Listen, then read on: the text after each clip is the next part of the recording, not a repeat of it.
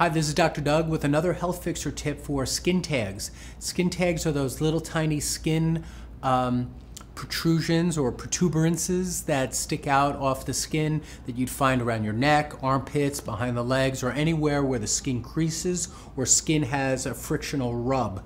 Uh, one thing you can try is tying it off with either a little cotton string, like from a sewing thread, or some people like to use super thin dental floss, and you literally put like a little tie or noose on the skin tag and tie it off tight and clip it and sleep with it. And if you can, if it's not an area that's visible, leave it that way and keep an eye on it. And as it turns color, it gets darker, then black, it'll fall off.